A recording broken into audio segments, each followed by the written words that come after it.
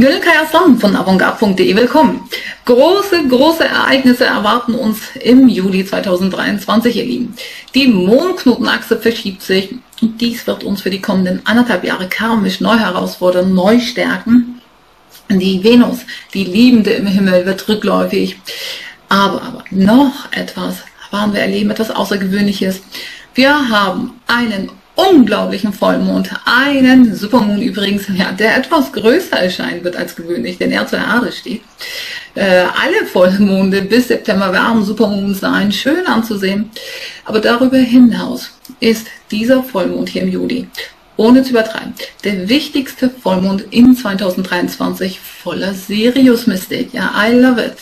Und deshalb werde ich auch diesem Teil besonders Gewicht geben in diesem Video, überhaupt den Stern Sirius und ja, sein Wirken näher beleuchten. Das habe ich so noch nie getan.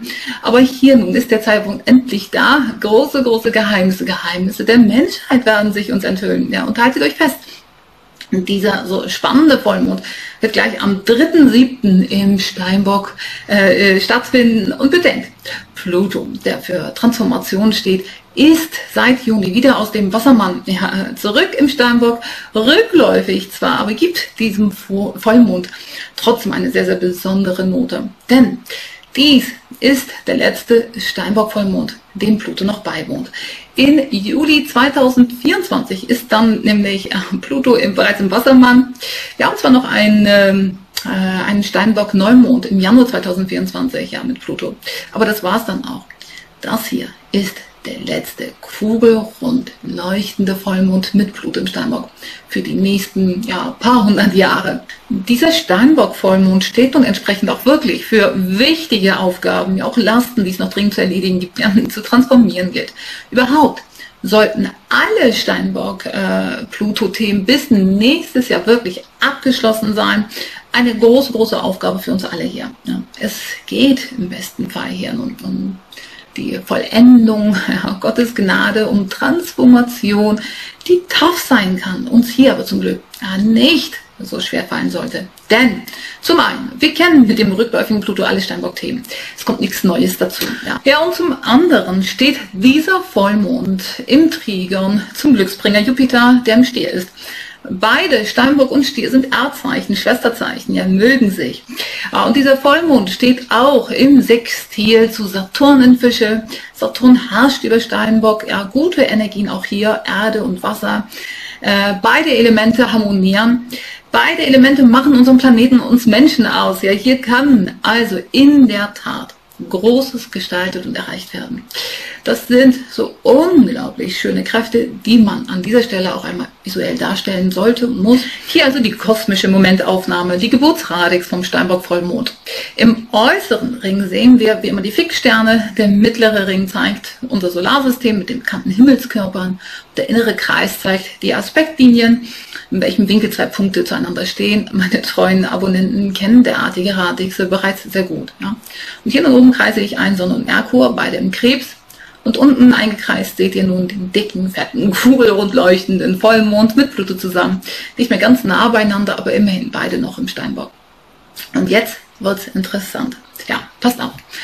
Sonne und Merkur, so nah beieinander stehend, bedeutet normalerweise, dass Merkurs Kräfte förmlich unter den Strahlen der Sonne verbrennen. Merkur würde man ja, meinen, wäre geschwächt, combusted, wird der Astrologe sagen. Und das ist normalerweise auch so. Warum es aber hier nicht zutrifft, sei erklärt. Zum Vollmond steht auch der Fixstern Sirius, nämlich mit Merkur in Konjunktion. Sirius, hier der gelbe große Stern, auch im Krebs, nimmt sich dem geschwächten Merkur quasi an. Also über unseren Köpfen am sogenannten MC, am höchsten Punkt im Himmel, im Zeichen Krebs stehen, ist richtig, richtig was los. Ja? Sonne, Merkur und Sirius, allem Krebs, beleuchten diesen Steinbock-Vollmond. Und Sirius, ihr Lieben, ist ja vom Durchmesser 1,7 mal größer als die Sonne. Ja?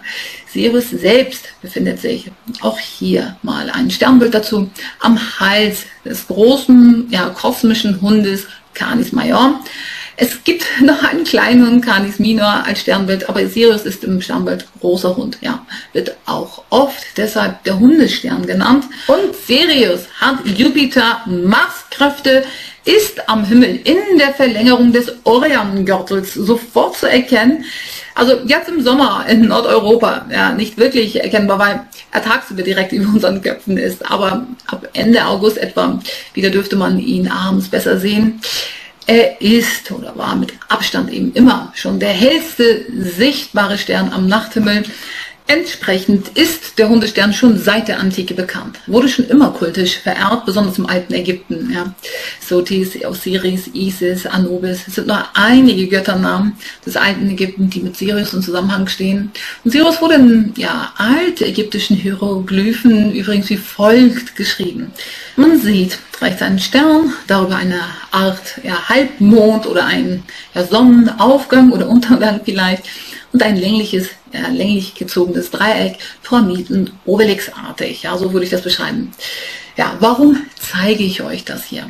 Wir leben hier zum Vergleich nun erneut die kosmische Momentaufnahme vom Vollmond. Und ich zoome nun rein in den spirituellsten Bereich der Astrologie, in den hier blau unterliegten inneren Kreis. Und ja, Ebola selbst. Diese ägyptischen Hieroglyphen sind am Himmel klar zu erkennen. Dieser Vollmond, ihr Lieben, steht durch und durch im Zauber von Sirius. Und so oder so ähnlich muss sich das auch einst den alten Ägyptern dargestellt haben, was diese dann für ihren Toten und oder auch Pyramidenkult genutzt haben müssen. Eine Pyramide ist letztlich auch ein Dreieck, nicht wahr? Ja, Sirius ist im Grunde genommen schon immer dieser eine besondere Stern gewesen, ja, der Bethlehem-Stern, die Sternenkarte im Tarot, war der Stern der Sterne ja überall schon immer voller Mystik. Nur noch was ist hier zum Vollmond wirklich sehr außergewöhnlich. Hier mal die Aspekte zum Vollmond, tabellarisch dargestellt. Das ist quasi, was ich euch jetzt hier zeige, ein ja, kosmisches Notenblatt zum Vollmond, ja, wenn man so will. Oben links erkennbar, wie der Sonne, Mond, Merkur, alle im Krebs und wie diese eben ja zu anderen Himmelspunkten stehen. Und schaut euch nun ja diesen Bereich hier an, gelb unterlegt. Wirklich wunder, wunderschön. Eine Art Gemälde, kann man fast schon sagen. In grün seht ihr diese Astrodreiecke, sogenannte Trigone ja, und Sextile, die Sternfiguren in einer Art ja, Kreuz miteinander verbunden. Hier, ihr Lieben, zum Sirius gefärbten Vollmond ist das kosmische Prinzip der Trinität klar zu sehen. Darauf will ich hinaus. Altägypter haben dies eben in ihren Dreiecken Pyramiden ausgedrückt, wie in Gizeh. Ja. Ich finde es zu sehen ist immer noch einmal etwas anderes, als nur darüber zu lesen oder mal gehört zu haben. Sonne für den Vater eines Dinges stehend, der Mond für die Mutter eines Dinges stehend und der Sirius Merkur hier für höheres Wissen, Unterscheidungskraft quasi. Das alles steht so harmonisch verbunden mit dem Stier Jupiter und dem Fische Saturn, dem Acht, dem Wasserelement, führt das Diesseits auch und das Jenseits stehend. Ihr seht diese Harmonie in Grün vor euch selber mit euren eigenen Augen.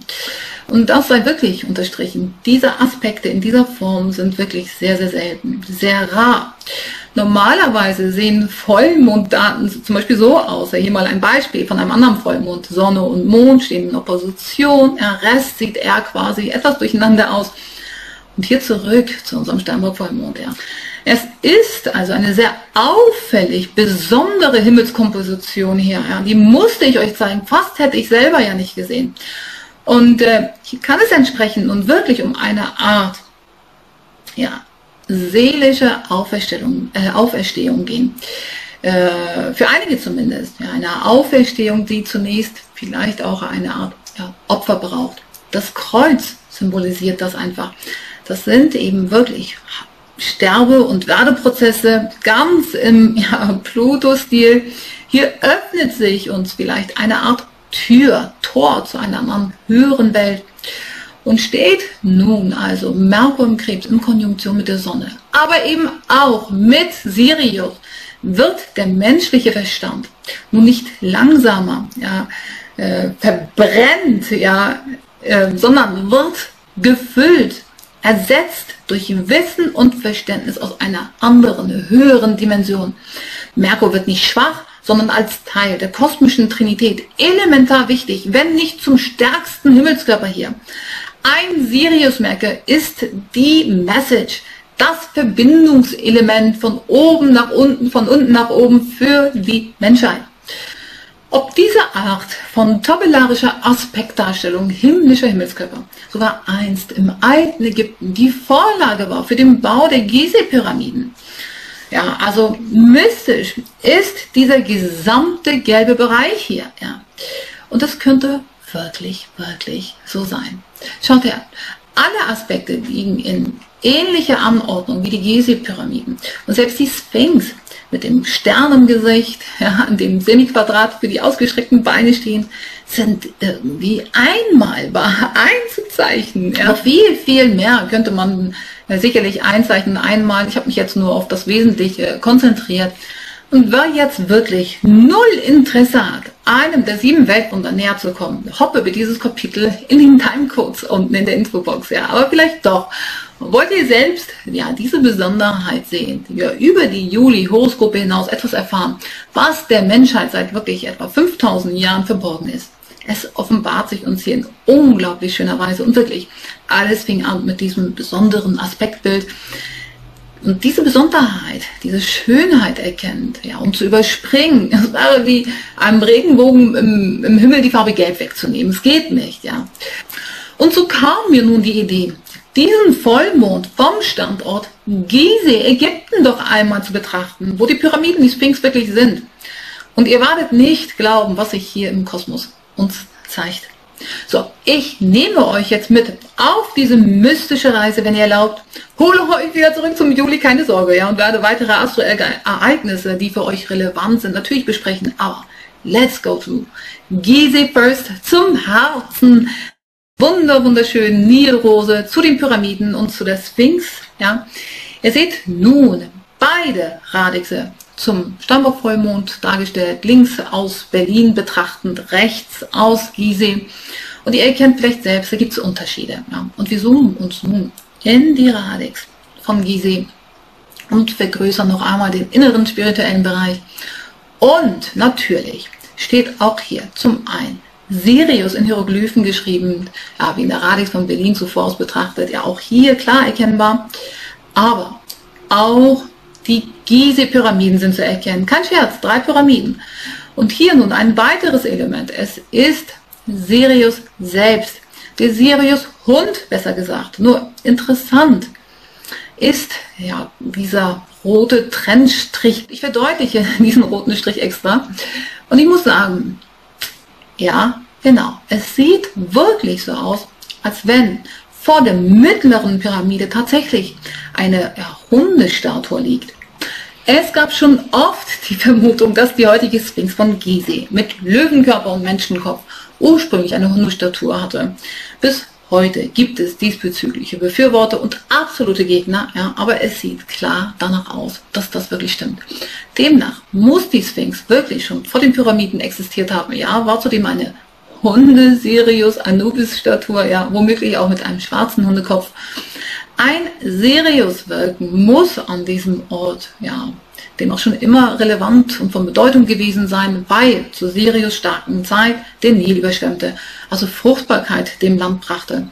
Und letztlich, warum auch immer, wurde dann ja, die Schnauze sozusagen entfernt, der Kopf ummodelliert zur heutigen Sphinx als Abbild ja, vom Pharao Chefren, dem Erbauer der mittleren Pyramide. Also Gizeh bekam damit ein neues Gesicht. Unglaublich, aber das ist hier zu erkennen. So, bleibt nun der untere Bereich noch zu analysieren. Und hier, genau, ist der geflügelte Skarabäus zu erkennen, die Sonne haltend, das Glückssymbol der Altägypter, der Mistkäfer, ihr wisst es, war ja, die Erscheinungsform des Sonnengottes oder eine Erscheinungsform zumindest und wurde als Symbol für die Überwindung des Todes, für Auferstehung und Wiedergeburt verehrt, wirklich auch wunderschön klar zu erkennen. Was noch? Das hohe Auge ist zu erkennen, ihr Lieben, zum Vollmond. Das linke Auge, das Mondauge des Falken Gottes Horus, das für Heilung und Fülle steht. Und ihr seht selbst ähm, dieses Auge, wie eben von einem Falken, schaut einen direkt an. Aber ihr Lieben, auch ein weiteres Auge ist zu erkennen, das Auge des Reh, das rechte Auge mit Pupille nach oben äh, schauend, die Sonne zur Mittagszeit anblickend quasi, ist hier klar zu erkennen, das rechte Sonnenauge, das auch on top von Sirius gestärkt wird Wissen über Geometrie, Baukunst, Mathe, Physik, äh, andere Kunstfertigkeiten verleiht, Schreibkünste auch, ja. Und hier einmal wirklich eine Malerei zum Sonnengott Re selbst, ja, und auch das Auge eben die, die Sonne anblickend. Und ihr Lieben, ich bin kein ägyptischer Hieroglyphenprofi, aber wenn ich mich nicht irre, sind hier außerdem klare Buchstaben zu erkennen, die zusammen tatsächlich Ägypten ergeben. Das zur damaligen Zeit Tameri hieß, ja, also Beloved Land. Aber diese Hieroglyphenanordnung, die mal von oben nach unten oder ja, von rechts nach links orientiert ist, bist du ein Profi überprüfen, wirklich. Das ist nicht mein Spezialgebiet. Was ich damit nur sagen und zeigen möchte, da ist, dass man einfach wirklich viel, noch viel, viel mehr aus diesem kosmischen Bild entnehmen kann, äh, als äh, ich jetzt hier. Es gäbe noch tatsächlich viel, viel mehr zu sagen, vielleicht auch zu prüfen zur Sphinx, zu den Pyramiden. Wie gern wäre ich jetzt archäologisch aktiv dort. Ja. Ich stoppe nun aber diese Ausführungen hier an dieser Stelle, denn das Wesentliche habe ich, denke ich, euch gezeigt. Bei so viel Zauber nun im Himmel, ja, ob in Gizeh oder aus Gizeh oder aus Berlin, was ist es nun, dass wir alle für uns selbst ziehen können aus diesem ja, so mystischen Vollmond? Fragt ihr euch vielleicht nun. Also, aus diesem Vollmond, der übrigens bei 11 Grad im Steinbock stattfindet. 11 dürfte aktuell auch die kosmische Zahl sein, die uns öfters begegnen kann. Aber zu diesem Vollmond, da sind wir in der ja, glücklichen Lage, ja, unser drittes Auge zu aktivieren, zwischen diesseits und jenseits stehend, zu höheren Wissen und wichtigen Einsichten zu gelangen ja, das dritte Auge aktivieren. Das hört sich so an, als wenn es so einfach wäre, aber in der Tat geht hier eine mentale Tür auf, will ich meinen, die uns ermöglichen sollte, Dinge klarer zu sehen. Ja, unsere Zirbeldrüse inmitten unseres Gehirns, das ja für das dritte Auge steht, wird arbeiten, ja, unter diesem Strahl von Sirius, wahrscheinlich in unseren Träumen. Ja, und nicht nur eben zum Vollmond, ja, unterstrichen seien mich auch, drei Tage nach diesem ja, besonderen Vollmond ist übrigens auch die Sonne-Sirius-Konjunktion exakt. Ja, zum Vollmond ist es Sirius und Merkur. Am 6.7. Äh, in diesem Jahr wird die Sirius-Sonne-Konjunktion eben dann exakt. Hier kann wirklich eins nach dem anderen auch kommen. Ja.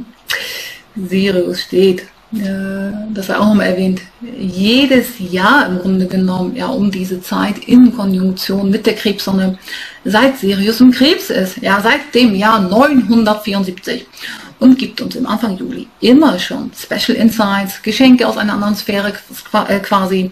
Eine kosmische Tür, wie gesagt, öffnet, öffnet sich und tada, ja. Und hier schon fast wirklich in doppelter Ausführung, ja, wirklich unglaublich schön zur Zeit des alten Ägypten um ja, 3000, 2000 für Christi, war speziell äh, Sirius im Stier. Damals war es also üblich, Tiergottheiten zu verehren. Sirius Tür geht auf quasi, ja, Tiergottheit kommt. Solche wie jetzt hier im Bild mal auch zu erkennen sind. Diese hatten einen im menschlichen Körper, aber den Kopf eines Tieres, eines Falken, Löwen, Krokodils oder eines anderen Tieres. Ja. Man verehrte Ikonen, die letztlich auch auf Himmelskörper ähm, wie Sonne, Mond, Venus, Mars, was auch immer zurückzuführen waren. Ja. Man verehrte letztendlich das, was man mit den Sinnen wahrnehmen konnte. Ab etwa 1200 vor Christi war Sirius dann im Zwillingen. Und sicherlich auch schon weit vorher spürbar standen wir dann eben in der Zeit der menschlichen Propheten und heilige Schriften. Wichtige gottgesandte Messenger bekamen wir Sirius Tür auf, ja, und ein Messenger und eine Nachricht höheres Wissen kam. Ein höheres Verständnis von der Welt machte sich bemerkbar.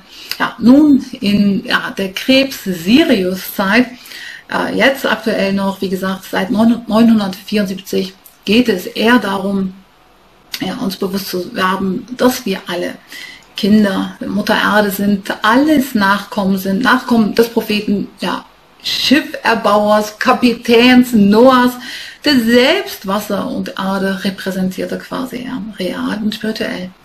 Und jedes Jahr nun Anfang Juli bekommt ja, Mutter Erde, Planet Erde aufs Neue ein Sirius Krebsgeschenk, wie auch immer sich ja uns das gesellschaftlich oder aber persönlich darstellt. Und hier konkret zwischen dem dritten und sechsten, siebten Jahr. Hier eine super, super wichtige Zeit äh, in diesem Jahr. Dies ist also übrigens nicht nur eine besondere Zeit für Amerika. Ja. Bedenkt auch die Unabhängigkeitserklärung der Vereinigten Staaten wurde am 4.7. mit Sirius-Kräften quasi eins ratifiziert. Es gibt sogar einige, die zwischen Tameri für Ägypten stehen und Amerika eine Verbindung sehen. Ja, auch der Name Mary, Tamer, ja, stehen alle in Verbindung zu Tameri. Aber das ist ein anderes Feld, ja. Abgesehen von diesen Namensähnlichkeiten. Elon Musk ist beispielsweise mit einer, besonderen Sirius-Merkur-Konjunktion geboren. Sirius kann uns erhellen, erheben. Auch Queen Elizabeth II. hatte eine besondere Sirius-Konjunktion mit Pluto, machte aus ihr eine lang regierende Königin. Ja. Sirius wendet oft etwas zum Guten, aktiviert Hilfe von einflussreichen Menschen. Überhaupt werden oft besondere Persönlichkeiten geboren. Äh, in der ersten Juliwoche, auch eine Marilyn Monroe zum Beispiel, die auch eine gewichtige Sirius-Pluto-Konjunktion hatte. Sie war die Verkörperung von Sexappeal, was ihr nun letztlich auch ja, zum Verhängnis werden sollte. Ja, Sirius steht je nach Konjunktion und Stellung auch für Gefahren, wirkt sogar zubeißend. Ja, Menschen oder auch Hunde selbst ja, können monsterartig ganz plötzlich zupacken. Die Triebseele kann also auch schwer aktiviert werden, das äh, wollte ich unterstreichen. Menschen werden äh, körperlich angegriffen ja, und gar getötet. Manchmal nur wird durch den Tod auch jemand erst äh, unter Sirius äh, berühmt, postmortem berühmt. George Floyd, der von amerikanischen Polizisten im Mai 2020 getötet wurde auf offener Straße, ja, die auf dem Boden liegend die Luft zupressten, auf den Hals drückend, wäre ein Beispiel dafür. Sein Tod war sogar der Anfang der Black Lives Matter Bewegung. Ja, George Floyd wurde durch seinen Tod quasi unsterblich und das wären dann eben die ja, Sirius-typischen ja, negativen Mars-Jupiter-Kräfte. Ja. Alles hat stets zwei Seiten, nicht wahr? Sirius ist also zusammengefasst nicht nur gesellschaftlich, historisch, also im Transit her, sondern auch im Geburtshoroskop ungemein wichtig. Ja, nicht nur durch die Strahlkraft im Himmel schon immer auch von enormster Bedeutung gewesen, ja, astronomisch, astrologisch. Selbst im Heiligen Koran wird Sirius als einzigster Stern wirklich namentlich sogar genannt in der Koransuche der Stern, konkret Suche 53, Vers 49 und dass er also auch, auch der Herr des Sirius ist. Also keine Frage, Sirius hat Gewicht. Auch in religiösen islamischen Schriften wird dies bestätigt. Was immer kommt mit Sirius hat einen plötzlichen Charakter, Dinge geschehen überraschend, sind nicht in unserer Macht. Und dieses Jahr stehen on top zum Steinbock-Vollmond. Ja, und dieser Sirius-mystischen Zeit ja auch noch die Löwe-Venus und äh, der Stier Uranus im Quadrat zueinander. Das macht Venus in ihrem langen Löwe-Transit in diesem Jahr dreimal. Aber Anfang Juli hier zu all, diesem, zu all diesen beschriebenen Spektakel äh, eben zum ersten Mal und gibt dieser Zeit einen wirklich ja, sehr venusischen Surprise-Charakter.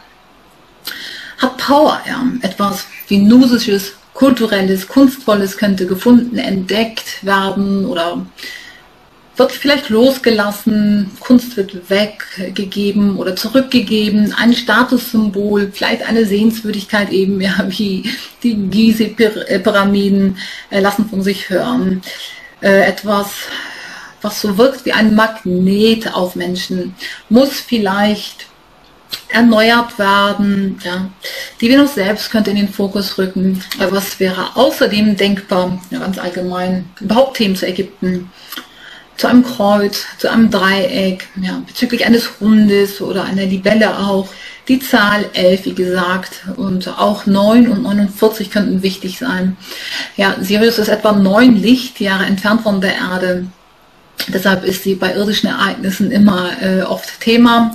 Ja, und alle 49,9 Jahre wird Sirius A, das ist der Stern, den wir alle im Grunde genommen auch sehen können, von einem weißen, kleineren Zwergstern, genannt Sirius B, umkreist, ja, den man nicht wirklich sehen kann von der Erde. Aber deshalb ist die Zahl 49 ab und an eben auch eine weitere Zahl, mystische Zahl äh, die wir wahrnehmen können hier auf Erden. Ach, ich könnte wirklich so viel zu Sirius philosophieren, ausführen. Ja, auch für die Zeit, die uns ab dem Jahr 3152 erwartet. Dann nämlich ist Sirius nicht mehr im Krebs, sondern im Löwen in etwa über 1000 Jahren.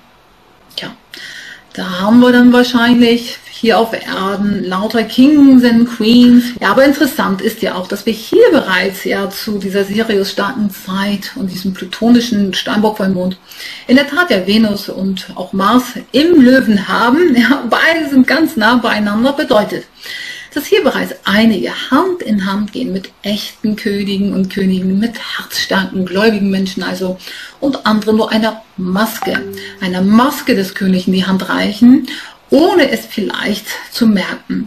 Also sich mit unehrlichen, unechten, egoistischen, selbstverliebten Menschen, Schauspielern abgeben, die sich was einbilden, ja, andere manipulieren, ja, bis auch eben diese Maske eben äh, fällt, früher oder später. Ja.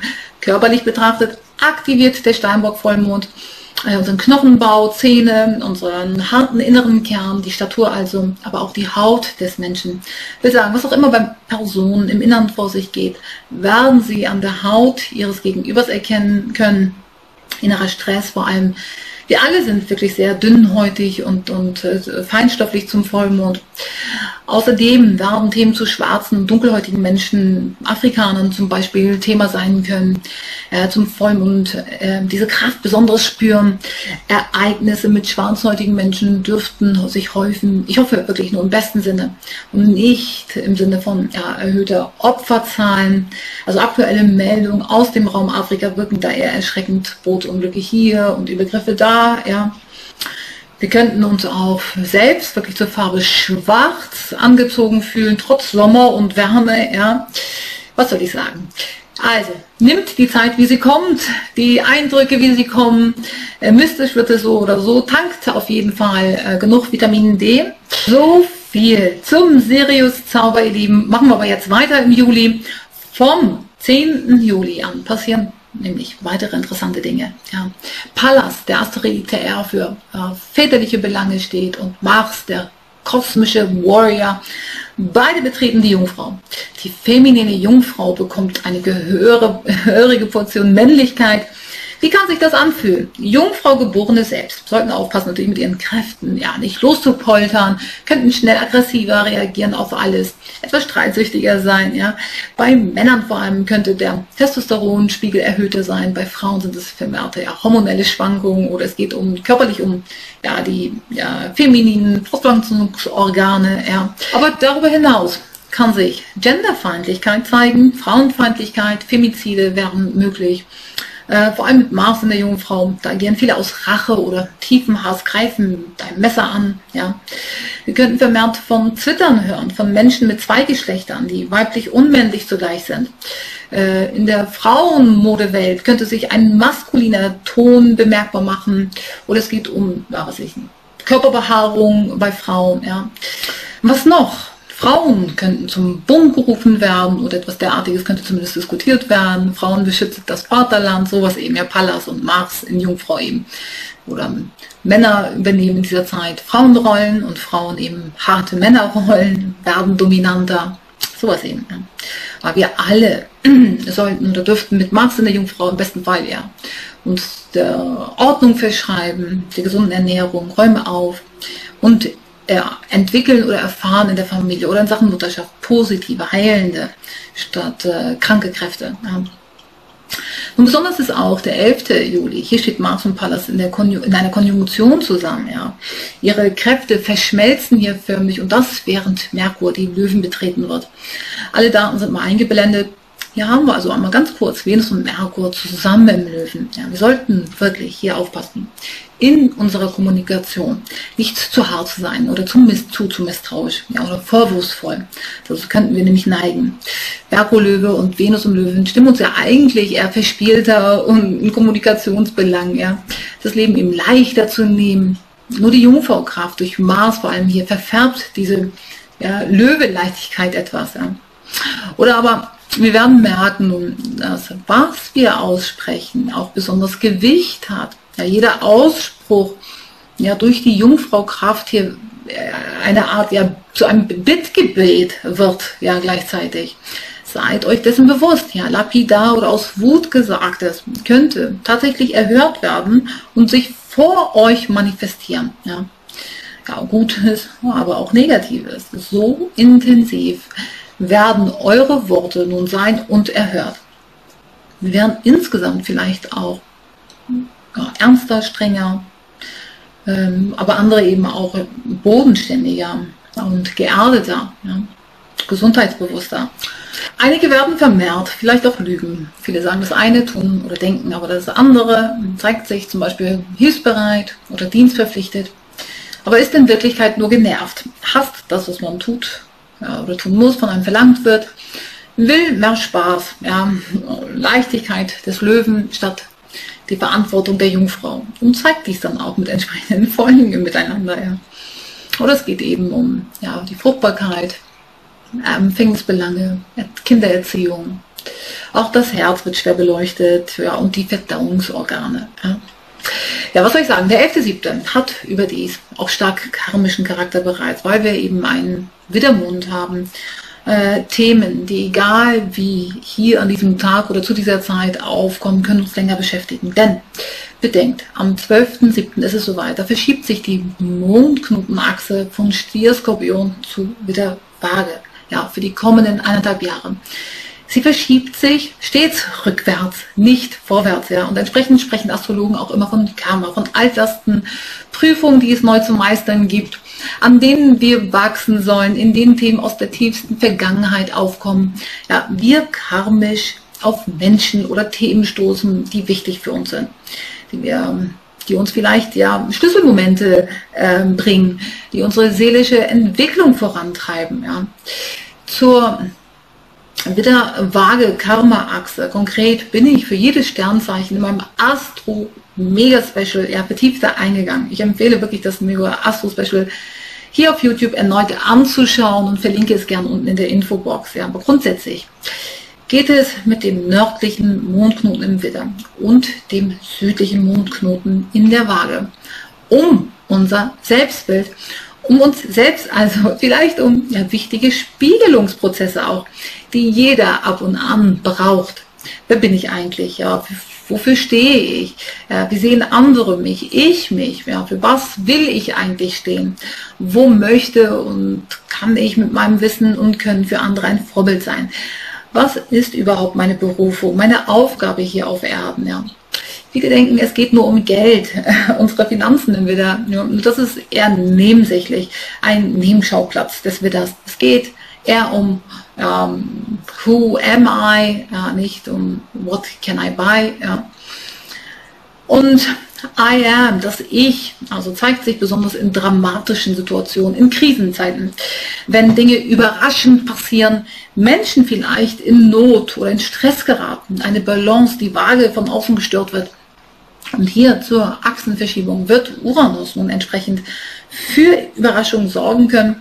Hier werden quasi Masken fallen. Ja, hier kann jeder, also seinem Selbst und anderen wirklich sehr, sehr nahe kommen, wenn man die Botschaft hier verstanden hat. Ja. Und vielleicht, weil es so gut passt, sei auch erwähnt, dass als die Titanic sank, ja, vor 111 Jahren, der Nordmondknoten auch im Widder war. Und hier erneut, also zum Mondknotenwechsel in den Widder. Ihr wisst, Karma-Kräfte sind weitaus vorher spürbar.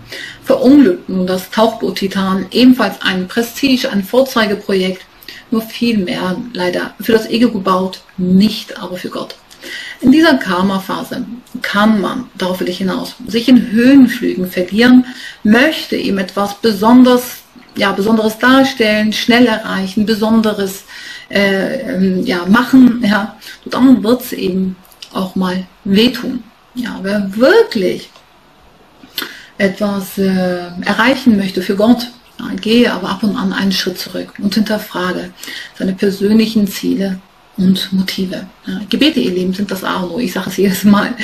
Äh, Gebete sind es, die sie erden können, das Herz beruhigen können, vor allem in beispielsweise auch mal privaten herausfordernden Situationen. Entsprechend wird sich der Beziehungsstatus vieler in dieser Karma-Phase verändern. Ja, ein Titel verändert sich. Beruflich natürlich auch, aber eben auch privat, ja, von verheiratet zu Single oder von Single zu verheiratet, ja. Einige erleben Familienzuwachs und andere ja, trennen sich, lösen sich ja, aus einer Art Co-Abhängigkeit wahrgeben. Ja. Erfolgt oft in dieser Zeit eine Art Selbstständigkeit, ähm, ja, ein, ein neues Image wird kreiert, der Wohnort vieler könnte sich verändern, ein Pendlerdasein, ein Nomadendasein hört auf, man prozesshaft und man wird eben auch ein Gesicht für etwas, hebt eine bestimmte Flagge hoch, ja, steht für etwas einfach, ja. Interessant wird in diesem Zusammenhang auch die Zeit Ende September, Oktober 2023 sein. Da haben wir dann ja, die erste Sonnenfinsternis in der Waage und weitere auf der Karma-Achse werden folgen. Ihr wisst, äh, Finsternisse sind immer karmische Peaks, ja. Äh, das wollte ich nicht unerwähnt lassen. Also was noch? Am 17.07. haben wir dann ja einen sehr besonderen Neumond im Krebs zu dem Merkur im Löwen im Quadrat zu Jupiter im Stier stehen wird. Hm. Hier kann es entsprechend um natürlich krebstypisch familiäre Belange gehen, vielleicht auch um ja, Uneinsichtigkeit in der Familie oder um Streitigkeiten im engsten Umfeld. Ja. Es kann um Immobilien, das Zuhause oder um Gelder aus dem Ausland gehen, auch um eine Art vielleicht Entzweiung, ja, räumliche, häusliche Trennung Vielleicht ist auch der Wunsch da, eine private Reise mit einer geschäftlichen Verbindung äh, zu verbinden. Ja. Man hat hier einiges zu koordinieren. Ja, der Krebsnormund beleuchtet stets eben auch äh, unsere emotionale Welt, das Seelenleben vor allem. Und wenn hier nun zu einem Krebsneumond Merkur und Jupiter im Quadrat zueinander stehen, braucht es manchmal Fingerspitzengefühl. Ja, auch wenn es ja, vielleicht nur darum geht, äh, nach höheren Antworten zum Beispiel zu suchen. Ja. Ein Jupiter-Merkur-Quadrat fühlt sich generell nicht unbedingt negativ an, anders als bei einem zum Beispiel Saturn-Quadrat. Ja. Das wäre etwas härterer Tobak. Aber dennoch sollte man sich fragen, was es denn ist, ja, das wir wirklich brauchen und wirklich suchen. Und der islamische Mystiker und Poet Mevlana Rumi schrieb passenderweise dazu, und ich lese kurz vorher. Also, Siehst du nicht, wie der Mensch hundert verschiedene Wünsche hat und sagt, ich will Nudeln, ich will Börek, ich will Braten, ich will Süßes, Früchte, ich will Datteln. Er zählt sie auf und nennt sie. Aber die Wurzel ist eines, nämlich Hunger. In Wirklichkeit ist das, was anzieht, immer nur eines, aber es erscheint vielfältig. Siehst du denn nicht, wie er, wenn er von einer Sache satt ist, sagt, nichts von diesen Sachen brauche ich mehr so begreift man, dass es nicht zehn oder hundert Dinge waren, sondern nur ein einziges und das war der Hunger. Ja, ja fragt euch also, ja, was ist die Wurzel eures Hungers, ja, das wirklich gestillt werden möchte in dieser Zeit. Und noch etwas möchte ich unterstreichen in Mevlanas Worten. Er schreibt es ja sehr oft, dass es eben nicht Worte sind, die einen Menschen zueinander bringen, sondern unsere Gedanken.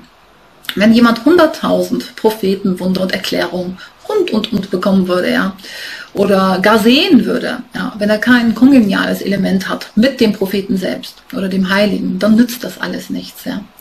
Worte sind nur ein Vorwand, schreibt er sehr oft, es sind die zueinander passenden Elemente, die innersten Gedanken, die einen Menschen zu anderen ziehen, nicht aber die Worte.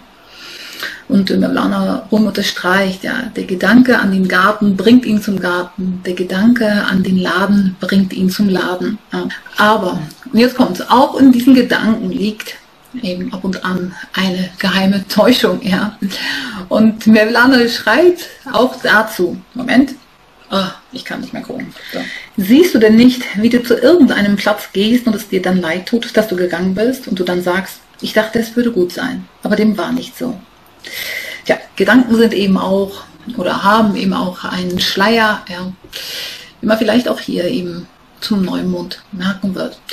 Und wenn immer diese Gedanken verschwinden oder eben diese Realitäten dann ähm, ohne Schleier sich zeigen, gibt es ähm, manchmal eine richtige Auferstehung. Ja, bedenkt wirklich also zum einen, was ihr vielleicht braucht, ist nur eines ja, und liegt nicht in der Vielfältigkeit. Und zum Zweiten, es sind nicht Worte, sondern eure innersten Gedanken, die euch in bestimmte Situationen bringen. Nur auch diese können täuschen. Ja. Zumindest kann es sein, dass manche hier ein derartiges Erwachen erleben. Ja. Zum Krebs, Neumond macht es vielleicht Sinn, auch mal in die Fixsterne zu blicken. Und sehe da, ja, Venus im Löwen und der Fixstern Alphard stehen in Konjunktion zueinander. Huhu. Alphard ist im Nacken, manche sagen im Herzen der kosmischen Wasserschlange Hydra of Lana. Hirnbild. Diese Schlange ist weiblich. Es gibt noch eine kleinere männliche Wasserschlange im Himmel, die heißt Hydrus. Aber hier ist Hydra-Thema und die steht einerseits natürlich ja, für Schlangen selbst. Real kann es um Schlangen gehen, ja, Angst vor Schlangen in einem Haus, man kann von Schlangen träumen, ja, oder man hört von einem Menschen verschlungen durch eine Schlange, ja, solche Meldungen halt sind durchaus möglich. Sinnbildlich kann es bei äh, Venus und Euphrat auch um eine Schlange als Frau handeln, um eine Täuscherin, ja, wer weiß, mit besonderen Verführungskünsten. Vielleicht um eine Nebenbuhlerin quasi, die Thema sein kann, so à la Monika Lewinsky, die mit dem ehemaligen amerikanischen verheirateten Präsidenten Clinton eine Affäre hatte. Ja. Die hatte zum Beispiel so eine Konjunktion in ihrem Geburtshoroskop. Aber von der Schattenseite einer potenziellen Nebenbuhlerin mal abgesehen, könnten uns Alphard und Venus auch ja, positiv beglücken. Besonders kreativ stark, reiselustig, lernstark stimmen, begabt, affin für Heilungsarbeit. Ja. Das sollte nicht unerwähnt bleiben. Ja, was noch? Nun begibt sich am 23.07. wie bereits erwähnt, die Venus in ihre Rückläufigkeit bis zum 4.9. Am selben Tag betritt und auch die Sonne die Löwen und Chiron, der Heiler im Kosmos, wird rückläufig im Witter. Hier ist also ordentlich etwas los, ja, rund um die Venus, ja. Hier kann es nun sein, dass Dinge ins Stocken geraten, emotional oder finanziell. Die Löwe-Venus beleuchtet eben stets Emotionen, Romanzen, Kinder, Gelder, Handelsgeschäfte, ja. Hier können nun auch in der Rückläufigkeit Themen und Menschen aus der Vergangenheit aufploppen, quasi alte Arbeitskollegen, Frauen, Herzdarm, alter Zeiten tauchen auf. Aber auch Masken können fallen hier. Ja. Hier fallen entweder Schleier, Lügen werden aufgedeckt, Luftschlösser fallen zusammen.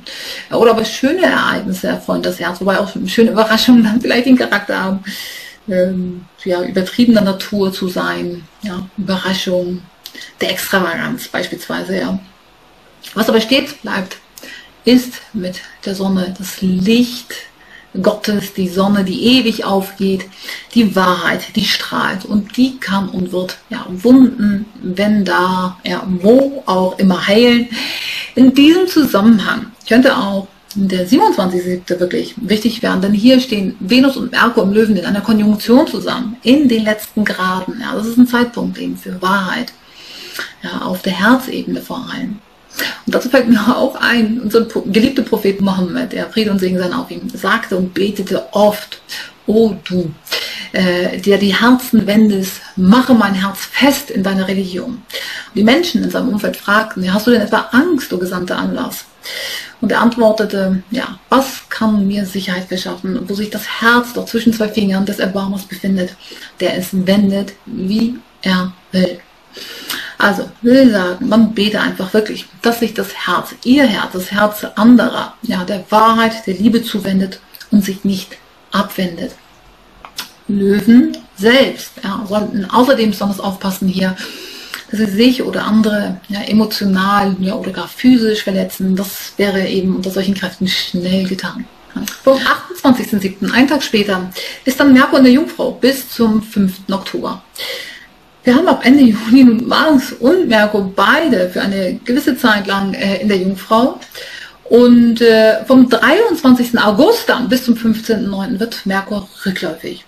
Und das war ja auch bereits erwähnt. Vom 23. August bis zum 4.9. sind dann Venus im Löwen und Merkur in der Jungfrau beide rückläufig. Ihr seht alle Daten, ja. Im August funktionieren dann Verstand und Herz. Äh, die beiden Ebenen vielleicht etwas langsamer, äh, sind getrübter, gehen aber einer Sache vielleicht auch auf den Grund. Auch darauf bin ich in meinem Mega Special bereits eingegangen. Vielleicht erinnert ihr das ja. Das wird den August insgesamt etwas strapazieren. Ja, zum Glück nur kurz. Aber ein kleines Trostpflaster an. Ja, es geht allen so. Und ja, umso mehr genieße man also diesen Juli äh, und plane für August hier vielleicht bereits einen Plan B vor. Ein, auf jeden Fall aller Fälle. Aber zurück zu Juli. Ende Juli, ganz wichtig, haben wir Pallas, Merkur, Mars, alle in der Jungfrau. Ja, und Herrscherplanet der Jungfrauen ist Merkur, der hier wirklich so unseren Organisations-, äh, Ordnungs- und Vertriebssinn stärkt. Wir könnten aber hier auch getestet werden vom lieben Gott, wer quasi wirklich am besten handelt, wer in eine Art Wettbewerb uns begeben, um letztlich karmische Punkte zu sammeln. Jungfrau hat immer auch etwas mit Ernten und Sehen zu tun. Ja, sehe Gutes, damit du Gutes ernten kannst. Ja, ja belebe totes Land, tote Erde für einen höheren Nutzen. Ja. Also Mars in der Jungfrau und Jupiter im Stier übrigens stehen am 1. August zum Wassermann-Vollmond im Trigon zueinander. Das sind Kräfte, die uns ungemein pushen, tatkräftig stimmen. Man kann also auf Hilfe von oben, von Dritten hoffen. Das ist wirklich ja, super. Da geht es eben vielleicht auch um eine Art Arbeitsamkeit, Arbeitsgemeinschaft, Kooperation, Aufbau und hoffentlich eben nicht um Raubbau. Ja, ja so viel zum Monatsende. Ihr Lieben, das waren meine Ausführungen zu Juli. Ich hoffe wirklich von Herzen, dass ihr das ein oder andere für euch ja persönlich mitnehmen konntet, dass ich euch den Juli-Zauber etwas nahe bringen konnte ähm, für all die, die noch können, fasse ich den Monat aber trotzdem noch einmal kurz zusammen. Es war ziemlich viel an Info, ich weiß. Wir haben einen besonderen Steinbock-Vollmond am 3.7., dem Pluto das letzte Mal beiwohnt. Und ich führe mal auf, welche Lebensbereiche durch den Steinbock-Vollmond ja, konkret beleuchtet werden für ihn einzelnen, ja, welche astrologischen Häuser für alle Sternzeichen konkret betroffen sind. Das ist ein Steinbock-Vollmond, der außerdem äh, von Fixstern Sirius im Krebs bestrahlt wird und uns unglaubliche höhere Einsichten gewährt, unser drittes Auge aktivieren kann. Das ist aber auch ein Vollmond, der uns ja, sicherlich aber auch Pluto-typisch testen kann, ja, zwischen Macht und Ohnmacht, äh, Sterbe-Werdeprozesse aktiviert auf der seelischen Ebene, versteht sich. Viele können hier entsprechend erneut an beispielsweise materiellen Werten und Dingen, dem körperlichen verfallen oder meinen, man brauche so viele Dinge, ja, materielle Dinge im Leben und wird dadurch gefordert werden können oder strebt in seinem Ton eben sehr nach persönlicher Anerkennung, Status, die riesen Followeranzahl oder was, ja, und verpasst dabei das Wesentliche, die Verbindung zu seinem höheren Selbst, ja. Also achtet wirklich auf eure Gedanken, Motive, nimmt diese bewusster wahr und gegebenenfalls reinigt diese auch ganz bewusst. Vielleicht gilt es etwas gut sein zu lassen, äh, zu opfern vielleicht, die Vergangenheit umzulassen und nach vorne zu schauen, Ballast abzuwerfen statt mitzunehmen. Also eine Tür bewusst zu schließen, loszulassen, wissentlich, dass eine neue Tür sich öffnen wird. Ja, man vertraue wirklich darauf, dass Dinge eben schon auch zum richtigen Zeitpunkt geschehen. Ja. Jupiter im Stier und der Fische Saturn werden Ereignisse um den Steinbock-Vollmond supporten. Wir haben also Sonne, Mond und die Elemente Wasser und Erde. Ja, das ist alles zusammen wirklich eine unglaublich schöne Komposition im Himmel, die das Beste aus uns holt, holen kann. Ja. I love it, you should love it. Ja. Äh, Pallas, Mars und Merkur betreten alle die Jungfrau. Ja, seht Gutes, damit ihr Gutes ernten könnt. Ja, achtet auch auf das, was ihr ausspricht in dieser Zeit. Was die Jungfrau konkret beleuchtet, seht ihr jetzt auch eingeblendet. Diese Kräfte stehen im Juli der Saturnkraft auch gegenüber in Opposition zum Fische Saturn. Das wirkt hoffentlich stabilisierend, halt gewinnt, diszipliniert arbeitend und nicht frustrierend. Schaut aber, was er so erlebt, ja, wie er damit umgeht, ja, hier könnte Saturnfische typisch auch etwas zu Ende gehen, ja. Hier geschehen Dinge vielleicht, aber auch die Nerven, aber einen höheren Sinn haben, ja, zu unserem eigenen Schutz vielleicht, ja. Im August stehen übrigens die Jungfraukräfte dann gegenüber vom Fische Neptun. Wir haben ja Saturn und Neptun in Fische und im August könnten dann Menschen mit der Neptunkraft vielleicht etwas verträumter sein, verpeilter, ausschweifender und anders als hier im Juli eben vielleicht auch maßloser, unehrlicher sein auch. Ja. Und wie heißt es so, so schön? Äh, ein Mensch, der nichts Wahres, ja, nichts Gutes über Gott zu sagen hat, ist von Gott verlassen. Also tut selbst nichts Verwerfliches, denn ihr würdet euch selbst vielleicht auch damit schaden.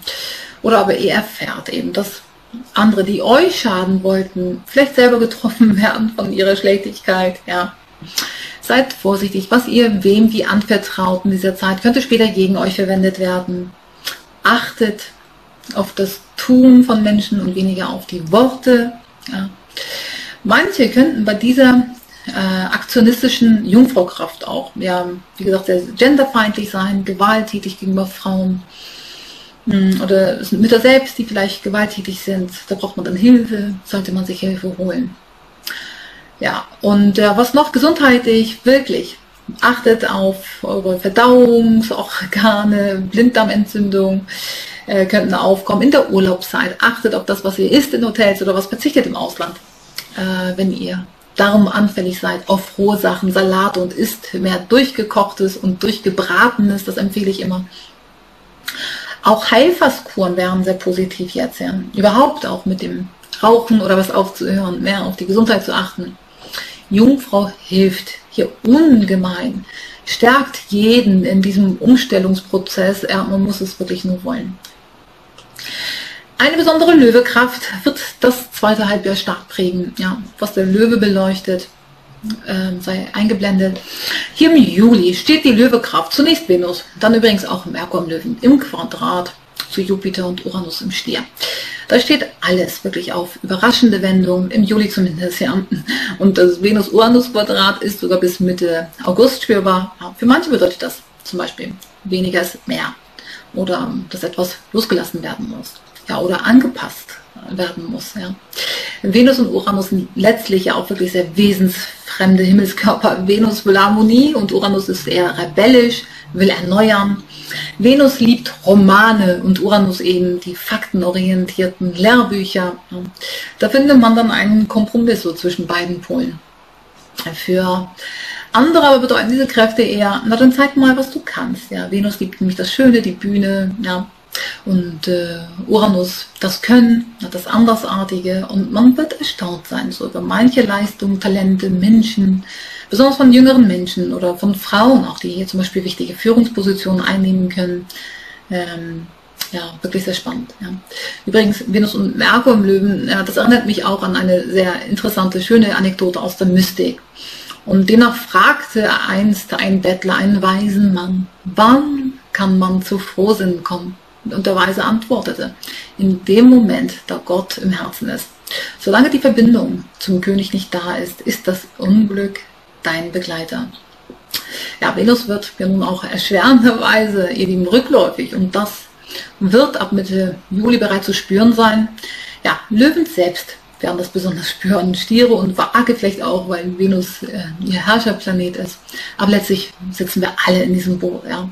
So, und im besten Fall treffen wir vielleicht auf alte Gesichter, die uns erfreuen und uns erreichen Meldungen aus der Vergangenheit von alten Kollegen oder was. Vielleicht zur Merkur-Venus-Konjunktion zum Monatsende. Ja, aber in jedem Fall sind besondere Ereignisse und Meldungen möglich, insbesondere durch bekannte Gesichter. Es kann beispielsweise auch sein, dass aus einzigen Feinden Freunde werden oder aus Freunden Feinde. Geschäftlich, privat, ja, Liebende könnten sich entlieben, Entliebte sich wieder ineinander neu verlieben, ja. Trennung, aber auch ein Heiratsantrag ist möglich, ja, beides. Ja, oder aber ein Angebot erreicht ein, man wird beruflich empfohlen, ja, geheadhuntert, ja, zurückgeholt, sowas eben. Ja. Man sei während der Rückläufigkeit von Venus im Verkehr, im Handel sehr aufmerksam, betreibe zur und Venus-Konjunktion konkret, ja, am 27.07. Vielleicht kein Online-Handel, ja, aber trotzdem, seid gut erreichbar, seid spontan. Ja, man lasse sich nur in der Rückläufigkeit vielleicht nicht unbedingt so auf eine neue Liebschaft ein, so auf ganz, ganz neue Themen. Ja. Gesundheitlich achte man in der Rückläufigkeit von Venus, besonders auf äh, Herzrhythmusstörungen. Ja. Übrigens ähm, auch ein Tod durch ein gebrochenes Herz gibt es, ja, aus Trauer oder besonders starker Angst auch. Wird hoffentlich kein Thema sein, aber ist möglich. Ja, was noch? Die Mondknotenachse verschiebt sich im Juli offiziell zu Widderwaage. Und auch Chiron ist im Widder noch übrigens bis 2026, 27, ja und wird hier ähm, im Juli äh, erst einmal rückläufig. Ja, was wird der beleuchtet, seht ihr eingeblendet. Und zwar wirklich auch für die nächsten anderthalb Jahre, das sei nochmal unterstrichen, ja. Und äh, Chiron und dieser Mondknoten oder diese Mondknotenachse, die werden nächstes Jahr in 2024 öfters zusammen agieren, äh, uns emotional, aber auch eben sehr dankbar stimmen können. 2024 hat so einiges im Petto. Äh, nicht für, für, für Wiedergeborene selbst, aber wirklich für uns alle. Und ähm, ja, es geht grundsätzlich karmisch ja, um Daseinsfragen, äh, die es zu klären gilt und hoffentlich um keine Lebenskrisen. Es geht ja um Identitätsfragen. Ja, für was steht man? Will man stehen? Man hält vielleicht auch die Chance, sich zu spiegeln, sich bewusst spiegeln zu lassen. Äh, oder manche bekommen vielleicht einen Spiegel hingehalten und merken es vielleicht nicht. Ja. Durch das Thomas-Evangelium wissen wir übrigens, dass auch Jesus eins seine Jünger bat, ihn zu spiegeln, ihn mal zu vergleichen. Ja, nicht, dass er nicht wüsste, wer er ist, aber er fragte trotzdem und sprach. Und das lese ich euch auch nochmal kurz vor. Ähm, also vergleicht mich und sagt mir, wem ich gleiche. Ja. Und Simon Petrus sprach zu ihm, du gleichst einem gerechten Boten. Matthäus sprach zu ihm, du gleichst einem besonders klugen Philosophen. Thomas sprach zu ihm, Lehrer, mein Mund vermag es ganz und gar nicht zu ertragen, zu sagen, wem du gleichst. Jesus sprach, ich bin nicht dein Lehrer, denn du hast getrunken, du hast dich berauscht an der sprudelnden Quelle, die ich ausgemessen habe. Und er nahm ihn und zog sich zurück und er sagte ihm drei Worte. Als Thomas aber zu seinen Gefährten kam, befragten sie ihn, was hat dir Jesus gesagt? Thomas sprach zu ihm, wenn ich euch eines von den Worten sage, die er mir gesagt hat, werdet ihr Steine aufheben und auf mich werfen und Feuer wird aus dem Stein herauskommen und euch verbrennen. Ihr Lieben, viele kennen dieses Ereignis. Ja. Was wird Jesus Thomas gesagt haben? Also glaubt mal ja nicht, die Antwort zu kennen. Ja. Feuer wird aus dem Stein herauskommen, wenn ich euch das sage, spricht Thomas. Wisst ihr, in der Mystik steht Feuer stets für die Wahrheit, das Licht, das Fackeln der Wahrheit. So, und worauf ich hinaus will, es gilt hier in dieser Widder-Karma-Phase halt, die Wahrheit über euch selbst herauszufinden. Und ähm, habt, wie gesagt, keine Angst vor Spiegelungsprozessen. Sie werden euch in dieser Phase besonders helfen. Ja, was noch? Die Sonne betritt den Krebs, gefolgt vom Krebsneumond am 17.07., der ja auch in Opposition zu Pluto steht. Ein letztes Mal für uns. Ja. Ihr seht, was der Krebs ja, bei jedem beleuchtet. Themen aus der Vergangenheit, aus Januar vielleicht, können aufkommen. Da hatten wir nämlich einen Krebsvollmond und hier eben den, den Krebsneumond.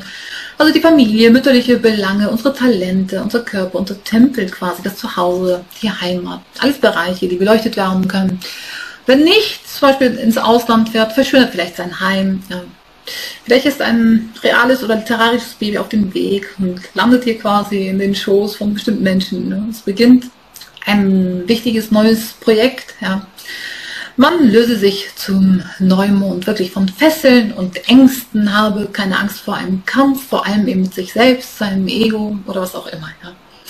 Diese Neumondkräfte erinnern mich auch hm, beispielsweise an einen weiteren Jesus-Ausspruch, der sagte eins, ich bin nicht gekommen, um Frieden in die Welt zu werfen. Ich bin gekommen, um Zwistigkeiten auf die Erde zu werfen. Feuer, Schwert, Krieg, ja, betont er. Sehr, sehr bekannt, dieser Ausspruch.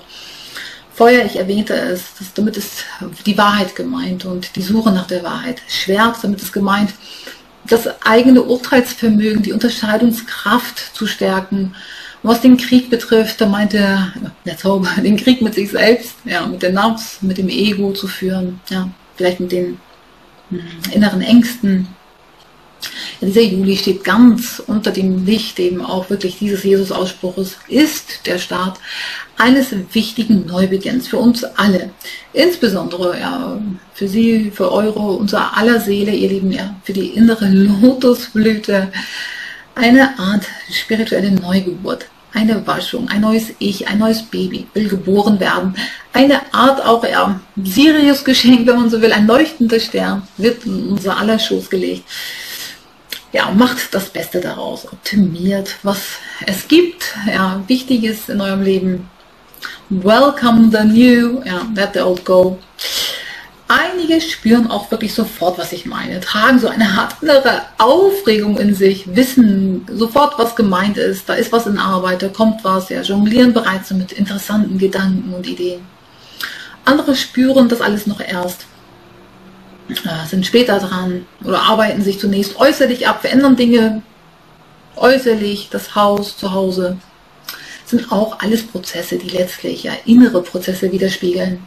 Also wirklich sehr, sehr spannend, ja, und sich egal wie auf einen neuen spirituellen Prozess einzulassen, ist auch nicht wirklich immer einfach, aber dennoch sehr lohnenswert, wie alle Geduldigen merken werden. Ja achtet in diesem Monat unbedingt auf ja, Träume, die durch Sirius wirklich erweckenden Charakter haben können. Sie könnten plötzlich ja die Idee bekommen und dann wirklich nur Mut. Ja, bei Sirius ist es noch nicht mal eine Idee, man bekommt eine Aufforderung zu agieren. Ja. Vielleicht noch etwas, bevor ich dieses Video beende zu August. Ich habe es ja öfters angedeutet und ja, es wird im August etwas kompliziert, denn Venus und Merkur beide werden äh, gleichzeitig rückläufig sein. Aber werden wir auch eine Sonne-Venus-Konjunktion im Löwen haben, die Herzenswünsche erfüllt. Außerdem zwei Vollmonde, einen Wassermann-Vollmond gleich zu Beginn und einen Blue Moon, einen zweiten Vollmond Ende August in Fischer. Und da könnten dann auch wirklich Träume wahr werden. All dazu dann in meinem August-Video mehr. Oder ihr lest bereits meine schriftlichen Previews auf avantgarde.de. Da beschreibe ich stets immer die, den folgenden Monat, äh, bereits einen Monat zuvor. Und August sollte auch bald online sein, denke ich. Ja, jetzt im Anschluss folgen wir immer die spirituellen Hinweise für alle Sternzeichen, diesmal mit Koranversen und ja, um diese wirklich zu verstehen, sollte man sich etwas Zeit lassen. Ja, letztlich spiegeln diese Verse ja auch Wichtiges wider. Ja, und da ich Koranverse auch immer nur kurz einblende, gern äh, einmal screenshotten die Verse, dann könnt ihr diese euch mehrmals durchlesen. Ja. Wir sehen uns inshallah bald wieder. Ja, ich wünsche euch bis dahin einen schönen Sommer. Atemberaubende Träume tolle Einsichten, ein Frohschaffen, schöne Überraschungen und ein starkes Herz. Ja. Eure Gülle. Gülle,